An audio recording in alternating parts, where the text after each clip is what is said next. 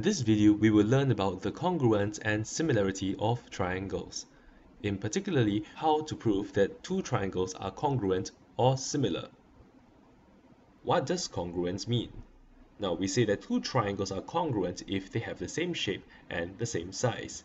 In other words, I can take one triangle and overlap the other and it fits just nicely. When two triangles are congruent, their corresponding lengths are of the same size and so do their angles. Triangles maintain the same shape and same size if they undergo any of these three transformations. Translation, rotation, or reflection. On the other hand, we say that two triangles are similar if they have the same shape but different size. Suppose we have a triangle of sides 6 cm, 8 cm, and 12 cm, and the other triangle is 3 cm, 4 cm, 6 cm. Notice that the ratio of their corresponding sides are equal. 6 divided by 3 is 2, 8 divided by 4 is also 2, 12 divided by 6 is also 2. Now suppose that you're given a few triangles here. Now how can you tell if these two triangles are congruent or if these two triangles are similar?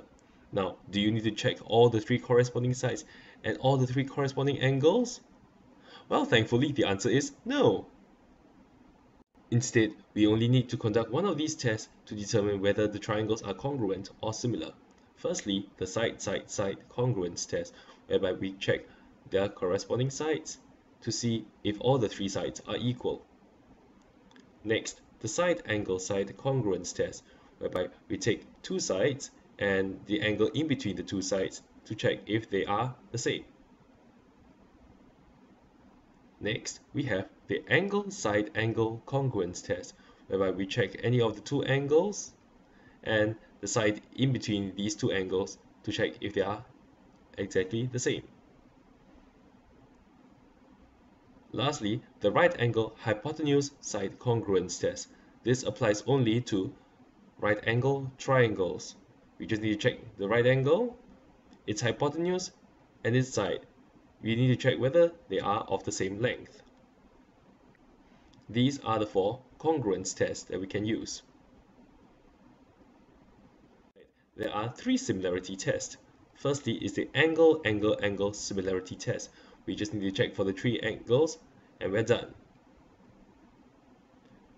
Next, we have the side, side, side similarity test. Instead of checking whether they are of the same length, we just need to check that the corresponding lengths bear the same ratio. Lastly, we have the side angle side similarity test, whereby we check the ratio of two corresponding sides and the angle in between. So let's take a look at these examples. Alright, firstly you will notice that AB is equals to CD. We also write that down. Firstly, we have AB equals to CD. Now this is a given in the diagram. Now secondly, AD equals to BC. This is also given in the diagram shown. And lastly, you'll notice that BD and DB is a common side for these two triangles. So we're going to write BD equals to BD and bracket common. And by doing so, we have now shown that the three corresponding sides of the triangles are equal. And therefore, we can now conclude that triangle ABD is congruent to triangle CDB. And so hence by the SSS congruence test, triangle ABD is congruent to triangle CDB. Now take note of one thing, the order of the vertices are very important. They must correspond to each other. This symbol here is known as congruent. So therefore read it as triangle ABD is congruent to triangle CDB. And that's how we use the SSS congruence test. So now let's take a look at how we use the SAS congruence test. Now as the abbreviation says for itself, SAS. Now the angle has to be in between two sides. So let's take a look at this diagram here. Not only uh, does the diagram shows that QO equals to NO and PO equals to MO, you will notice that there are a pair of angles that are equal. Which pair of angles are they? Okay, it is the angle POQ and angle NOM. Now why is this so? Because they are vertically opposite angles. Let's write that down first. Alright, so we have angle MON equals to angle POQ. Remember to write your reason. Alright, next. we have PO equals to MO and QO equals to NO. List them down. Now that we have shown that MO equals to PO and NO equals to QO, and in between these two sides that we have angle MON equals to angle POQ, we can therefore conclude that by the SAS congruence test that triangle MON is congruent to triangle POQ. Here's a reminder that when you're using the SAS test, the angle has to be in between two sides. So right here you notice that this, this angle is in between this side and this side and this angle MON is in between this side NO and the side MO. Lastly, the order of the vertices are very important. So M corresponds to P, O well, it's O, alright, and N corresponds to vertex Q. So that is how we use the SAS congruence test. In the third example, we'll demonstrate how we use the ASA congruence test. Let's study the two diagrams here. Right here we have triangle PQR, angle 70, angle 65, QR is 5 cm, and uh, triangle XYZ, 70 degrees, 65 degrees, YZ equals to 5 cm. As the abbreviation shows, ASA. Alright, angle, side, angle. The side needs to be in between two angles. But guess what? This side is not in between these two angles. This side is not in between two angles. Then how? Not to worry, because we can easily find what is the size of the third angle here, angle sum of triangle, you should be able to find this out. So, Okay, and there we have it. You need to solve for these two unknown angles first. And well, it should give you the same answer of 45 degrees and 45 degrees. Hey, now guess what? We can now use the ASA congruence test because this 5 cm is in between two angles and this 5 cm is in between two angles. And so, of course, without further ado, we shall now prove that these two triangles are congruent. Okay, so firstly we have angle PQR equals to angle YZX and this is because it's given in the question and also QR, the length of QR is equals to the length of YZ because this is a given also.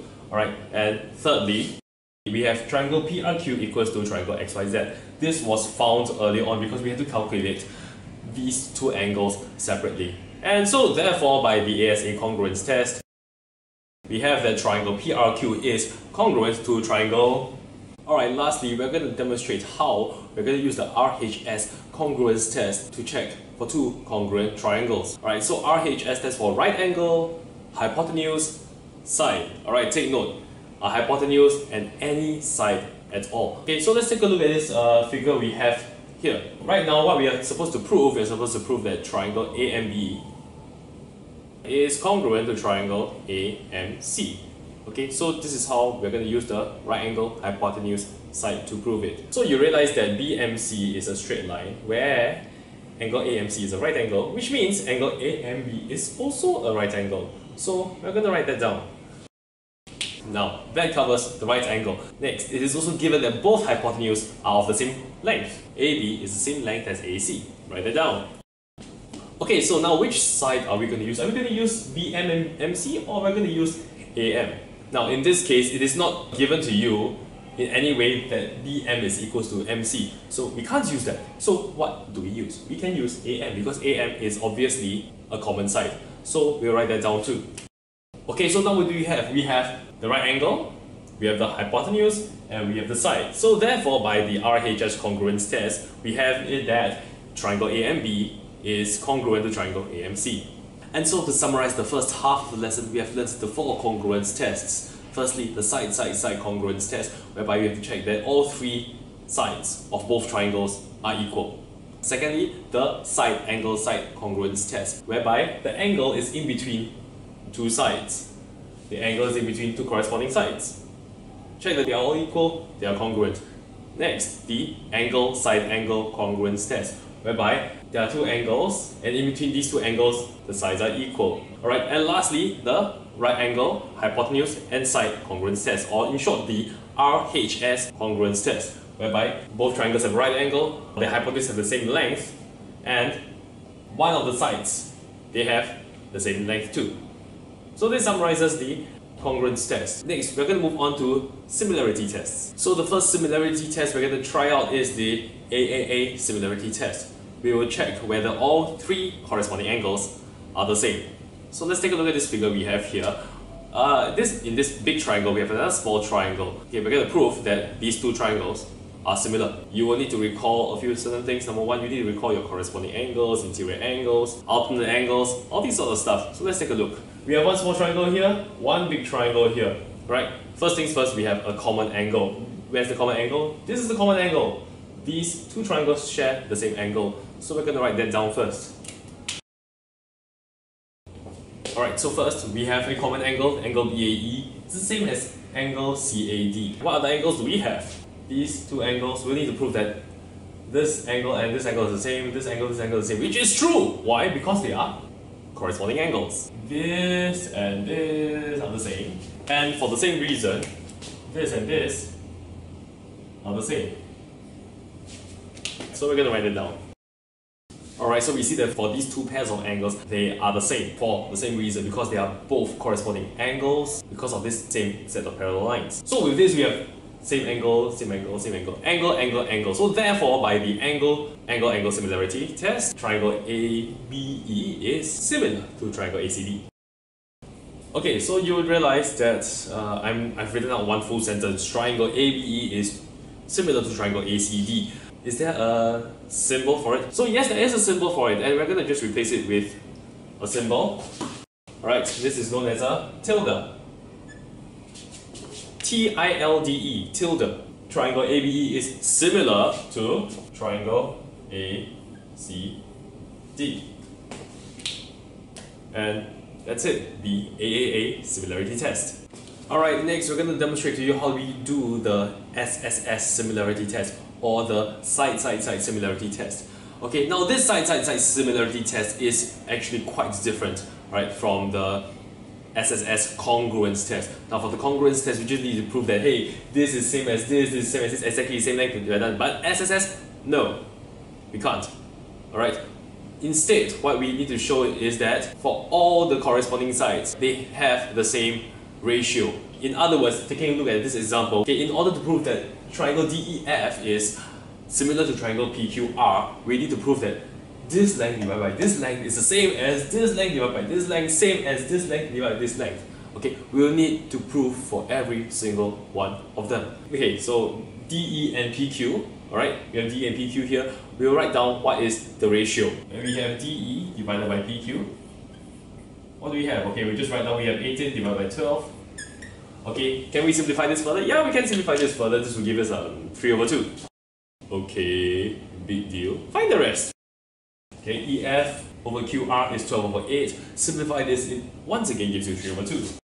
Okay, and then we need to check the last one, which is DF and PR. So let's write it down. DF and PR is 9 over 6, which also gives you 3 over 2. What do we need to write? We need to write that this fraction has the same value as this fraction, which has the same value as this fraction. We write it down very clearly, no ambiguity about it. Let's write that. Okay, now we have this is same ratio as this, same ratio as this. So therefore, we have it that triangle DEF is similar to triangle PQR. There you have it, the SSS similarity test. And so that we have it, the SSS similarity test, whereby we check for the ratio for every corresponding side. Alright, and the last test we're going to bring to you is the SAS similarity test. Pretty close to the SAS congruence test in the sense that side angle side means that the angle needs to be in between two sides. Similar to similarity test, when we are checking the sides, we are checking for their ratios. Alright, so here we have triangle PQR and triangle XYZ. We have two sides here and one angle in the middle of these two sides. Now, we're going to check whether these two triangles are similar. For angles, you have to check that they must be exactly the same. Number two, sides, check that they have the same ratio. So first things first, the angles are exactly the same. So we're going to write that down. First, it is already given to us that angle QPR is 45 degrees, which is the same as angle YXZ, which is also 45 degrees. So that is already given to us. Next thing we need to check, alright, we need to check the ratio of their corresponding sides. First thing, maybe we'll probably check a PR against XZ, probably the simple one. So if you have to find the value of PR over XZ, alright, it gives you a value of 4 over 3 when it's simplified. Alright, now we're going to do the same for PQ over XY. Let's just try it first. Alright, PQ over XY gives us 10 divided by 7.5 or 10 over 7.5. If I have to simplify this to the simplest ratio, it actually gives us 4 over 3. Alright, and therefore we have it that these two ratios are exactly the same. Alright, hence therefore by the SAS similarity test, we have it that triangle PQR is similar to triangle XYZ, and hence this concludes the third similarity test, which is the SAS similarity test. Now let us take a look at a slightly more complicated example. This one. Now in this diagram below, ABE and DBG are straight lines and AG is parallel to ED. From here, we'll need to prove that triangle ABG is congruent to triangle EBD. Next, we'll also need to prove that triangle DBE is similar to triangle FBC. And hence, we'll find the value of x. So how do we go about proving that triangle ABG is congruent to triangle EBD? There is not much information here. Not quite, there are some useful information there. If you had realized, there are a pair of vertically opposite angles. In particularly, angle ABG is equals to angle EBD. Next, because we have parallel lines, chances are we may have some corresponding angles, interior angles, or in this case, we have a pair of alternate angles. Specifically, angle GAB is equals to angle DEB. What else do we have? We actually have a pair of corresponding sides BE and AB. AB equals to BE which is equals to 10 cm. Therefore, by the ASA congruence test, we have that triangle ABG is congruent to triangle EBD. Now, let's find a way to prove that triangle DBE is similar to triangle FBC. As highlighted, there is a common angle, which is angle DBE is the same as angle FBC. Next, it is also given in the diagram that the angle DEB is equals to angle FCB. And because we already have two angles that are the same, the third angle is easily implied that angle EDB is equals to angle CFB. Why? Because of the, the property of the angle sum of triangles. And hence, by the AAA similarity test, we have it that triangle DBE is similar to triangle FBC. Now that we have proven that triangle DBE is similar to triangle FBC, now we can then find the value of x. And now we can find the value of x. Well, since triangle DBE is similar to triangle FBC, this implies that their ratio of their corresponding sides are equal. Now, specifically, the ratio of BE is to FC is the same as the ratio of BD is to BF. Now, we have some values. Now, let's just substitute the values in. BE, we have it that it is 10, FC is 5, BD is 5 plus X, and BF is 4. With that, solve yourself for x and you should have it that x equals to 3. And so to summarize today's lesson, we can now use the following test to test for congruence and similarities in triangles. So to test for congruence test, there are four tests. Okay, the SSS congruence test, SAS congruence test, ASA congruence test, and the RHS congruence test. Now for the similarity test, we have three different tests that we have learned, right? The AAA similarity test, SSS similarity test, and lastly the SAS similarity test. Now, in the questions, you need to be familiar with all seven of them. Okay, apply the one that is most appropriate. So, all the best.